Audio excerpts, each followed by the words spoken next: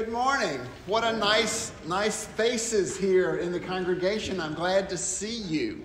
It's nice to be together this holiday weekend. I never know how many folks are going to come out on a holiday weekend, and I'm so pleased to see you. Lots of announcements in the bulletin, things to know.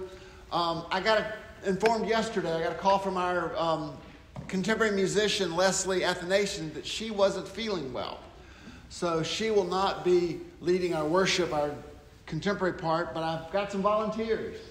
Um, Debbie and Cindy are going to lead us in um, Go Tell It on the Mountain Should Be Easy. We know that song. And then we'll sing a special song that they'll announce. We're going to sing one of my favorites, the one that James Taylor made famous, In the Bleak Midwinter. And we'll sing that. It's a hymn, but they'll announce that when the time comes. Um, we need some greeters. Many of you have been helpful. To, you, you were greeted as you came into church today. And we have volunteers that do that. The membership committee needs greeters in January and February. So when you go out and are greeted, if you'd like to speak to one of our greeters or even one of our ushers and say, hey, I can say good morning and shake hands with people and make them feel welcome. So uh, that would be wonderful if you could do that today. You see the rest of our announcements. The church office is closed tomorrow, and then we dive back in on Tuesday with a wonderful, busy January. We've got great things coming up in January, and watch this space as we make plans for that. Um, there's a few folks on our prayer list, but I'll talk about that at prayer time. Welcome. Let's worship God together.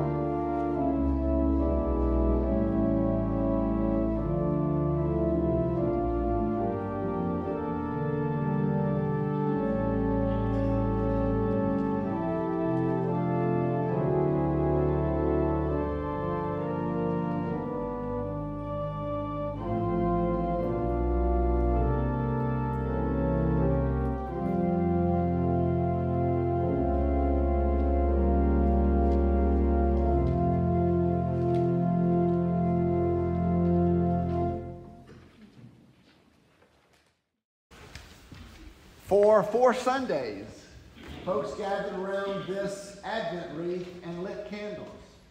Almost the reverse of birthdays, adding up one, two, three, four.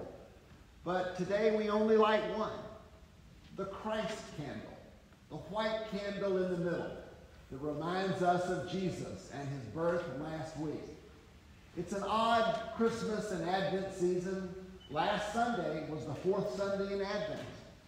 And there's not another Sunday of Christmas in these 12 days between Christmas Day and Epiphany.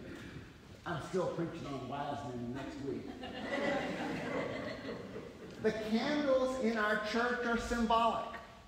Do you recall that the candles on the communion table over the Bible remind us of the presence of the Holy Spirit? Because the Holy Spirit came to the church in the book of Acts like fire. So we light these candles. The rest of the candles are Christmas, uh, Christmas lights. But the Christ candle reminds us of our Lord Jesus born and raised and died and is in heaven.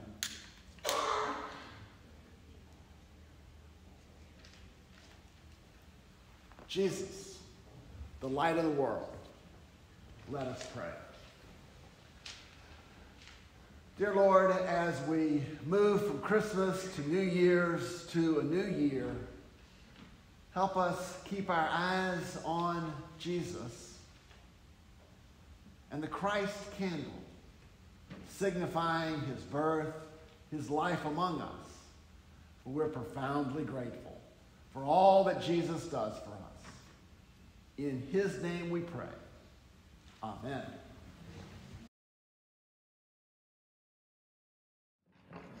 Please join me for the call to worship found in your bulletin. As the land is renewed each year and new crops sprout, so, Lord, God is restoring us. We are transformed by God's glory and power. God's revelation in a little child.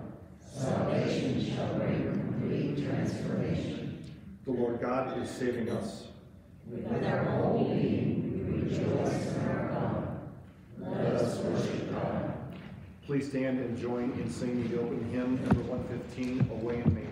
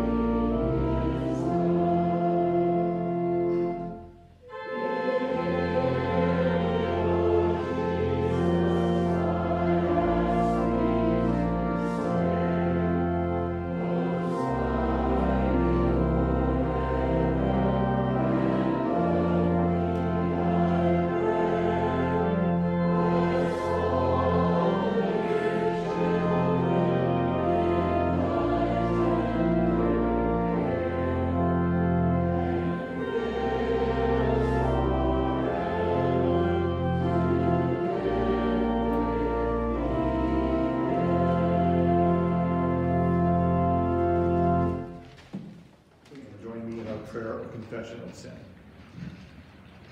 O God, in Christ you were born a humble child, love made flesh, God with us. Forgive us when we fail to follow your way of humility, love, and peace. Free us to see your light reflected in the faces of friends and family, neighbors and strangers, enemies and friends, and make us shine forth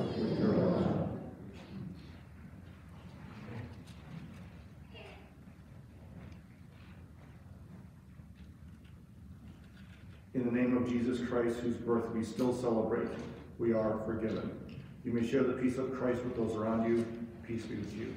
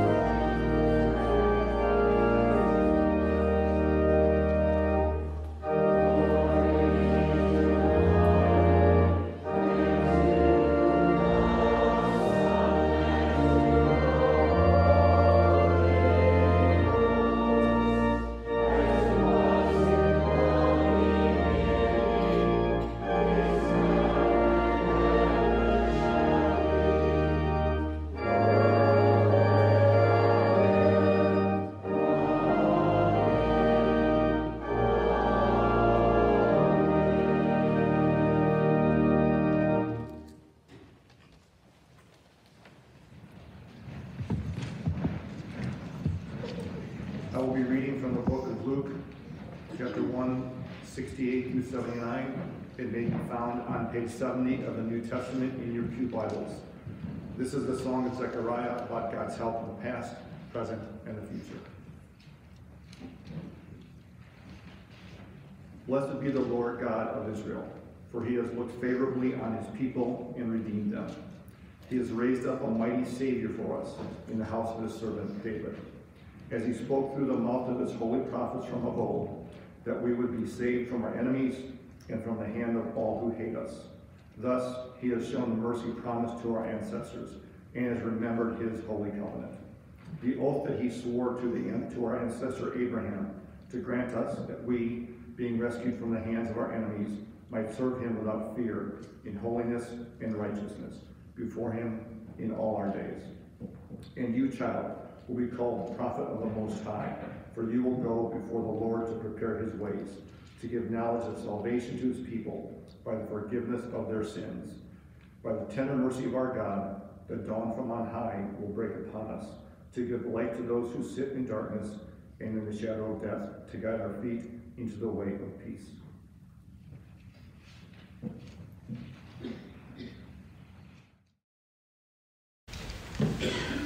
Are there children who'd like to come down for a time with me? Good. See if this is on. Not, muted.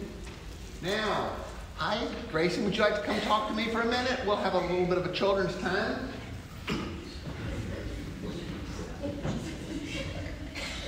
Let's come down, sit down. We're waiting on somebody else. I like your blue jean jacket. I've got one of those.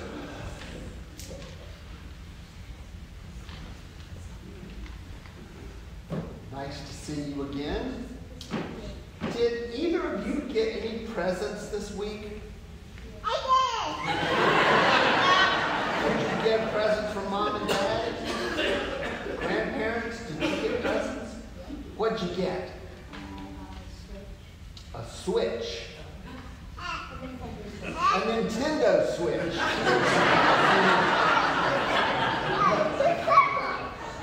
You get two, two what? Two footballs. Those are fun too. I love playing with balls.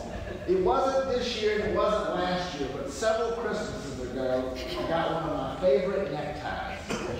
It's got Christmas balls on it. Are there balls like that on your Christmas tree? I like this necktie.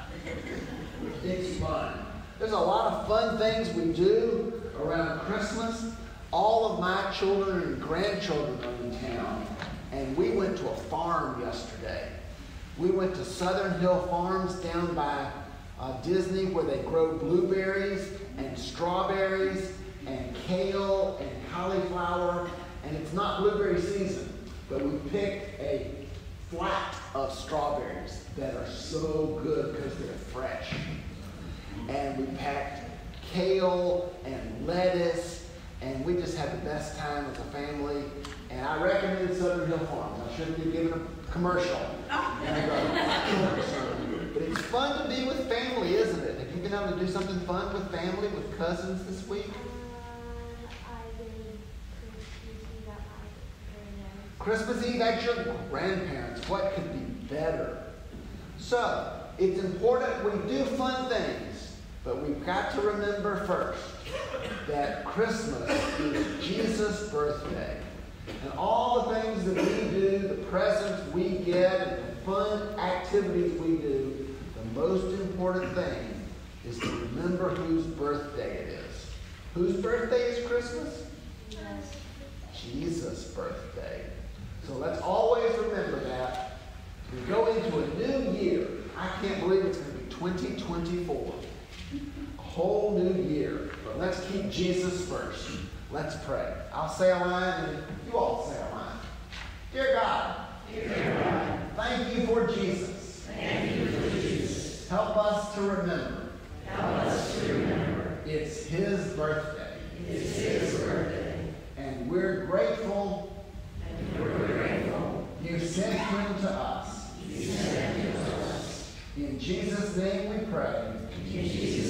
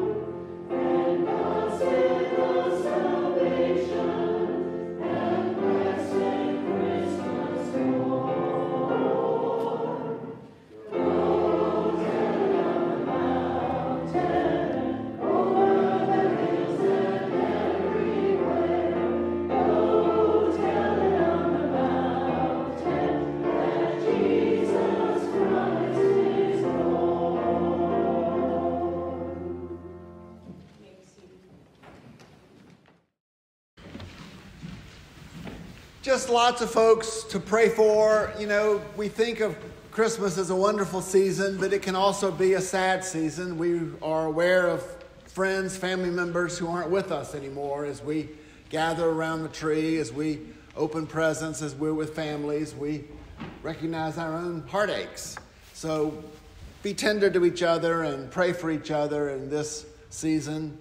There's um, a lot of joy in the laughter of a child who did get presents for Christmas. And I think that's a, a nice balance. Um, several folks uh, in, the, in the church have been in the hospital and are out. We've got some folks who are, are out and with us today, and that's just great.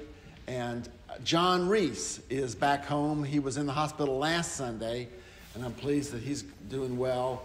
Um, Bob and Renee Turner, uh, Timmer are trying to decide what's best for them. I don't know if Bob's here today, but um, probably taking Renee back to their home up north, uh, Michigan, I believe. Um, but she's much better, but still kind of struggling, and she's in the uh, Ocala Rehab down on, on 50, um, not 50, 40. All these numbers. Um, Ann Vandenberg, I haven't confirmed this, but she was to leave life care and go home, and she was thrilled to be going home. Some of these folks are watching us on video, so we'll um, acknowledge them and let them know that we're praying for them. Let's, let's go to God in prayer. Almighty God, you wonderfully created and yet more wonderfully restored the dignity of human nature. Your mercy. Let us share the divine life of Jesus Christ, who came to share our humanity, now lives and reigns with you in the Holy Spirit. We're so grateful for that. God of mystery and might, we praise and worship you. For you came in silence when all lay sleeping to enter our world as a child of humble birth. Lord God, we thank you for your Son, Jesus Christ, born of his hand, uh, your handmaiden Mary. In his face, we behold your glory. In his life and death and your gift of salvation, we have life. We're grateful for the stories in the Bible and the miracles that Jesus did and the miracles that Jesus continues to do for the power of the Holy Spirit in our lives. When doctors are amazed at someone's recovery, we know, O oh Lord, that you are hard at work, bringing healing and wholeness and wellness. Even when things don't go exactly as we are planned, when something happens and makes us sad we know that you're with us. We remember the story that Jesus wept at the tomb of his good friend Lazarus. Lord, we know you experience all the emotions. You weep with us, you laugh with us, you have joy with us. We pray for folks who need your healing, your care, your love. We pray for folks who grieve this Christmas season. We pray for all who are on duty in our armed services, in law enforcement, working in a variety of places, sometimes forgotten. Lord, there are folks working in factories this holiday season to catch up. There are folks on oil rigs out in the Gulf and other places. There are folks who operate the TV cameras that make the bowl games come into our TVs and all who are playing the sports. We're grateful for everybody who makes our life easier this New Year's Eve.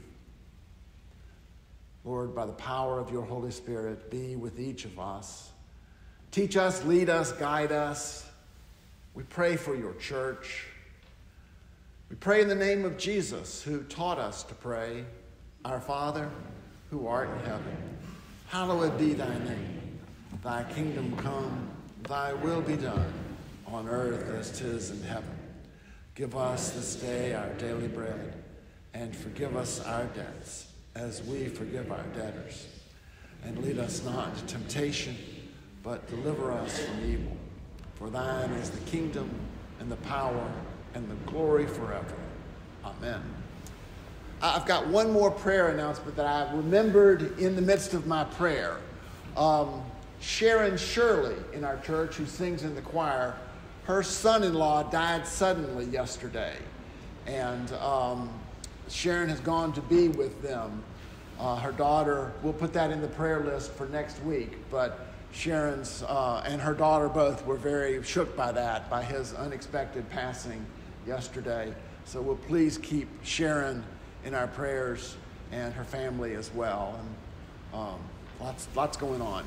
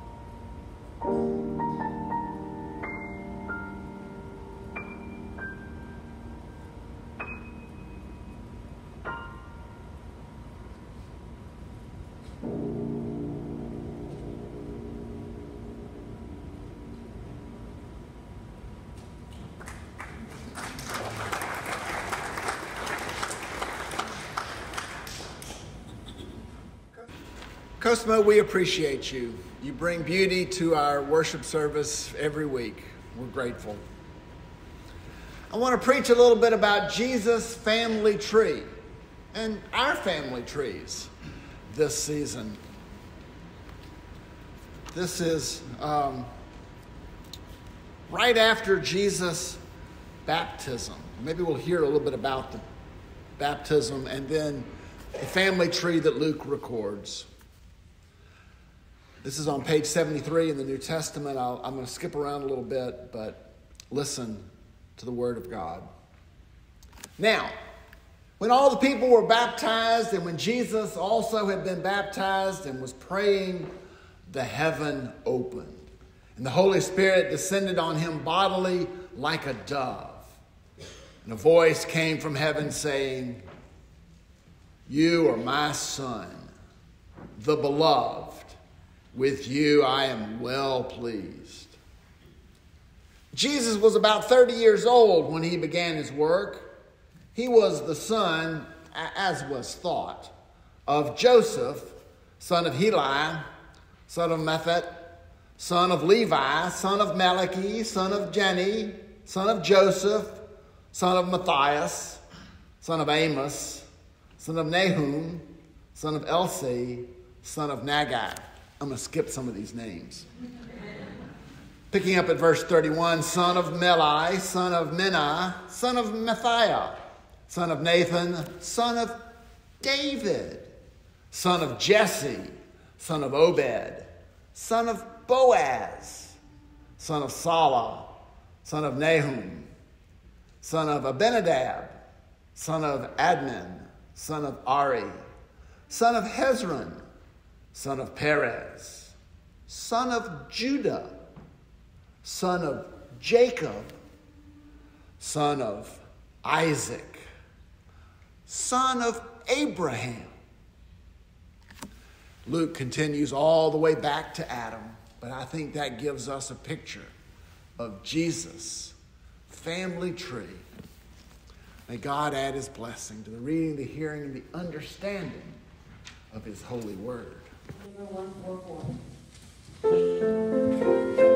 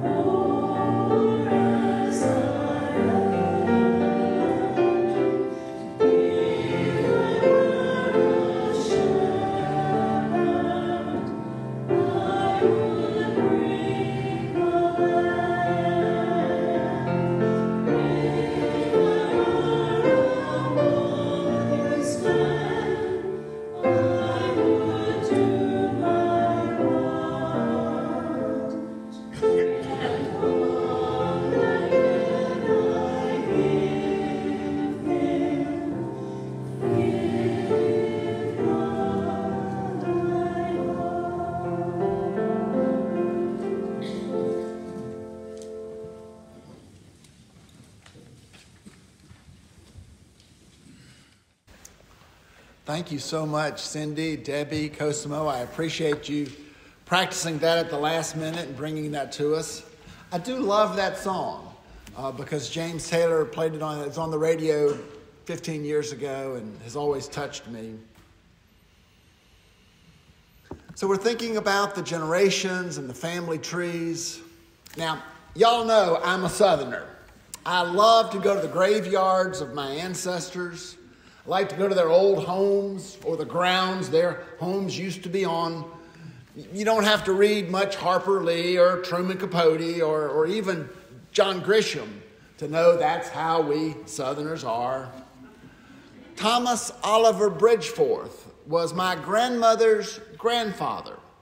He came to this country in about 1830. First, he lived near Athens, Alabama, then DeSoto County, Mississippi. I guess he came too early. He settled in the hills south of Memphis, not far from Faulkner's Frenchman Bend in Yoknapatawpha County.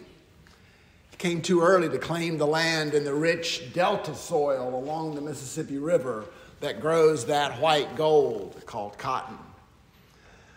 I don't know much about Thomas Oliver Bridgeforth's family, why they left Scotland when they did.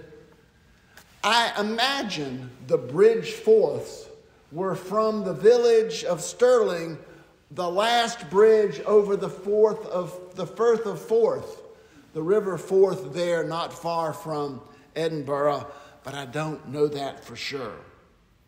I don't know why they left. Millions of Scots left in the 17th, 18th, 19th centuries, even into the 20th century.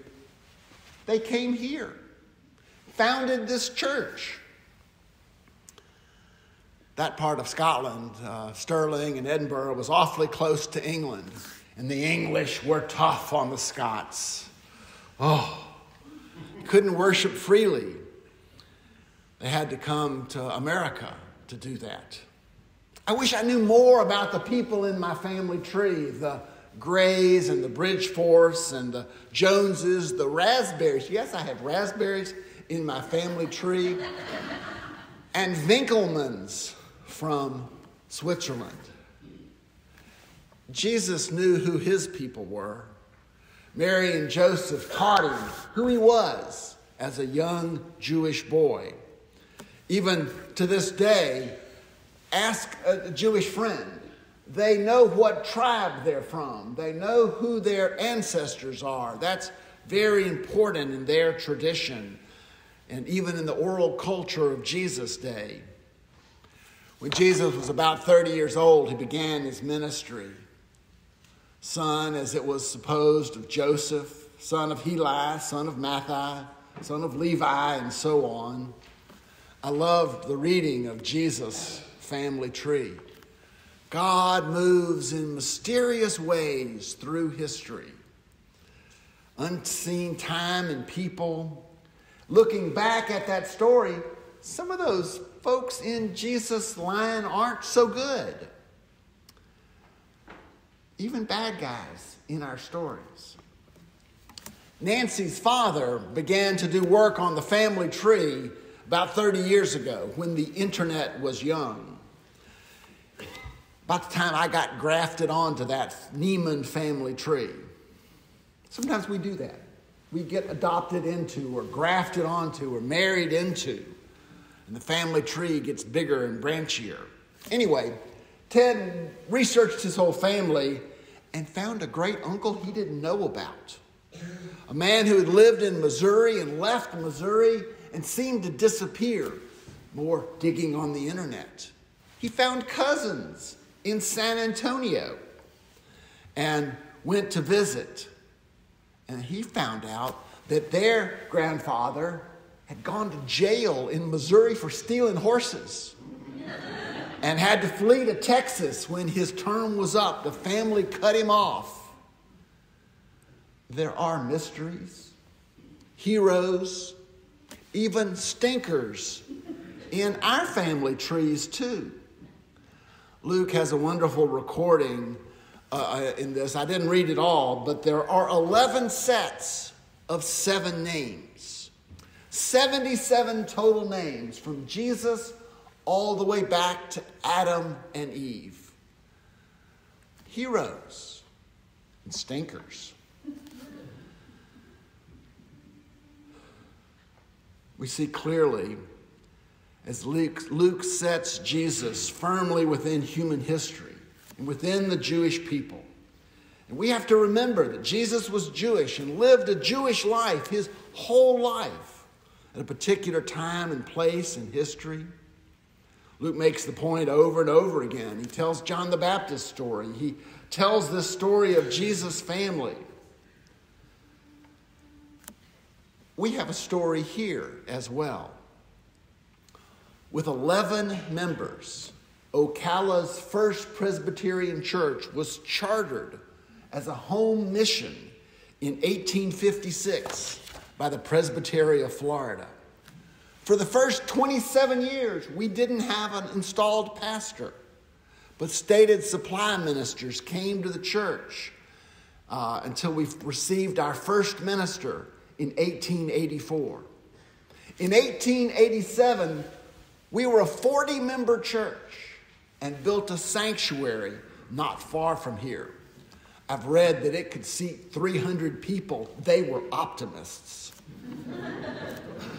On June 28, 1928, we dedicated this building and had a sacred recital on a three manual Pilcher organ that was donated by the women of the church. You gave the organ.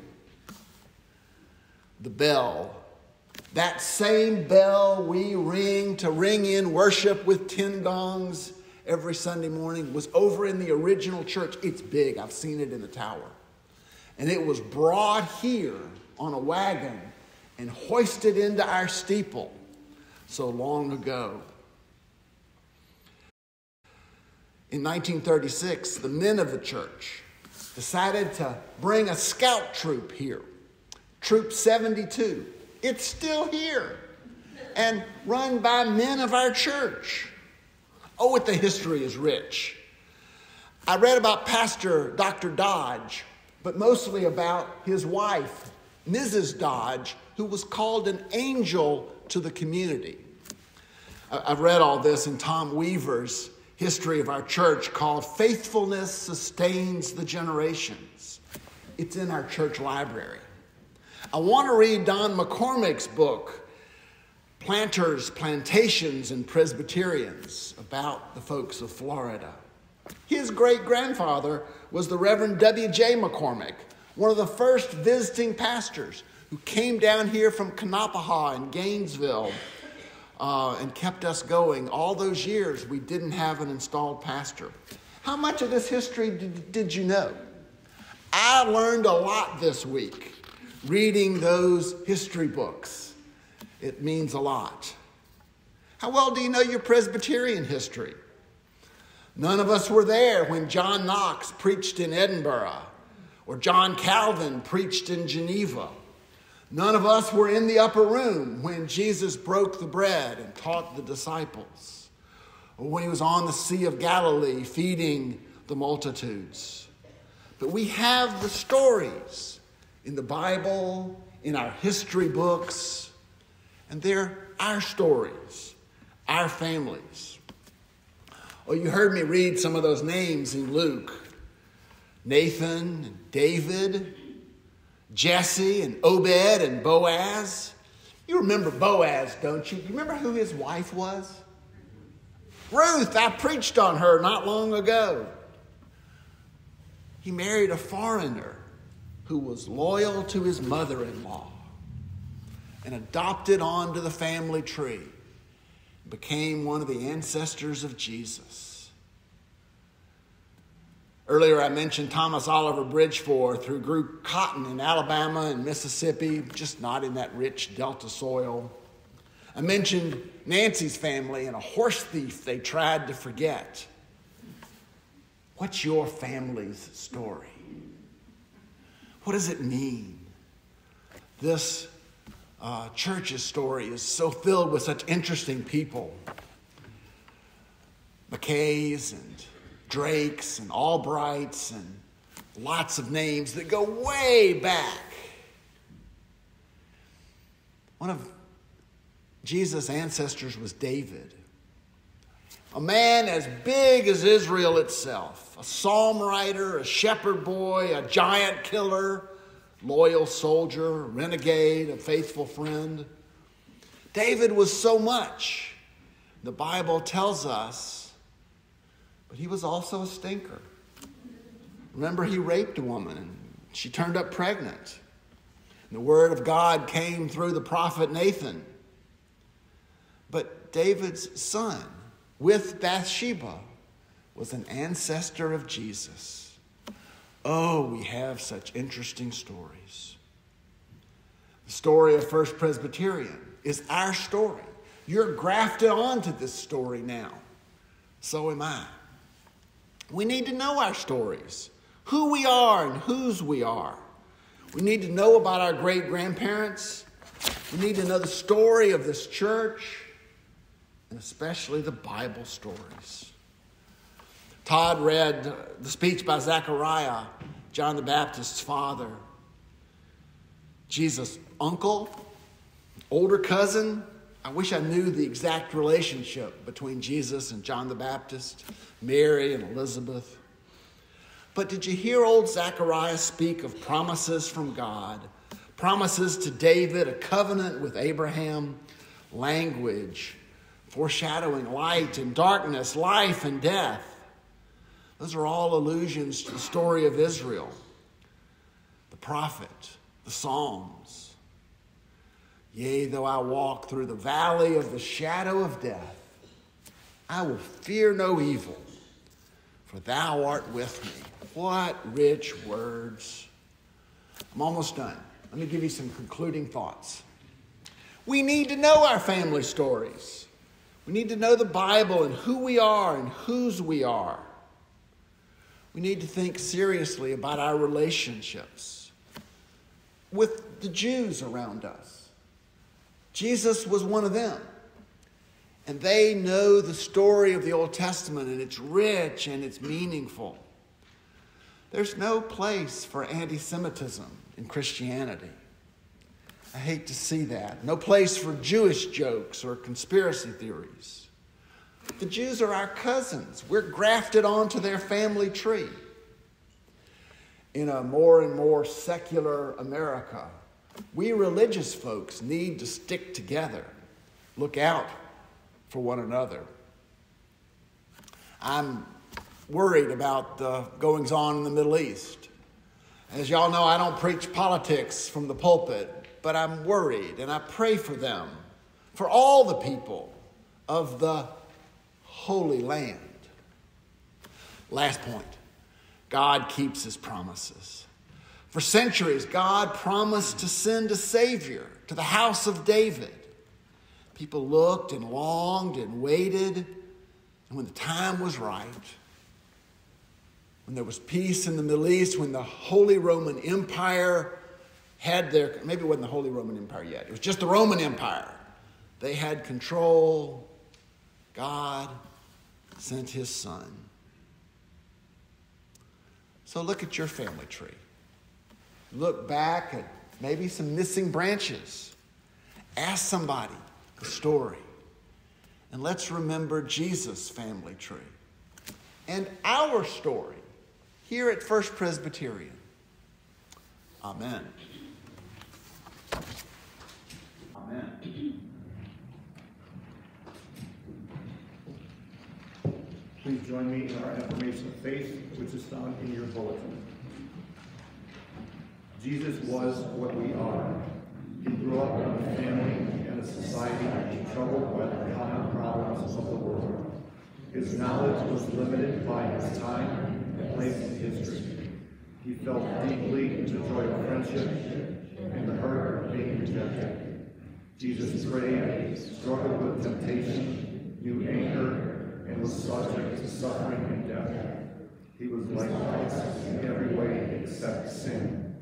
Jesus was what we should be. He served his Father with complete trust and unwavering obedience.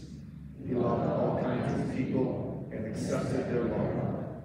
In constant dependence upon the Holy Spirit, Jesus allowed no temptation or threat to keep him from loving God with his whole being and his neighbor as himself.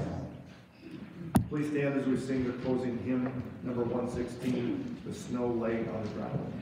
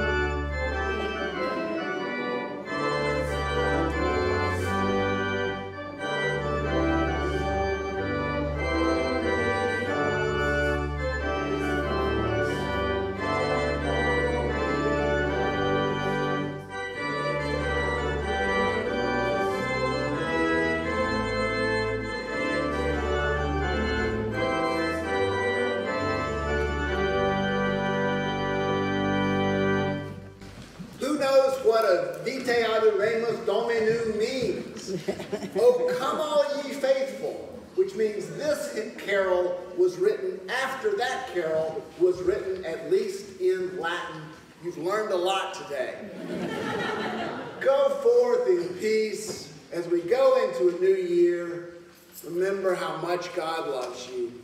Be blessed. In the name of the Father and Son and Holy Spirit. Amen.